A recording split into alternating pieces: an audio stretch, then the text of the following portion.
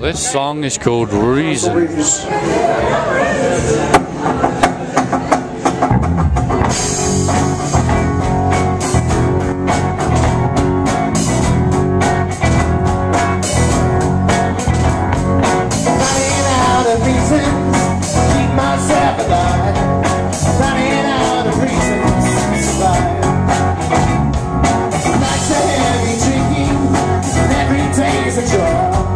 Cheers,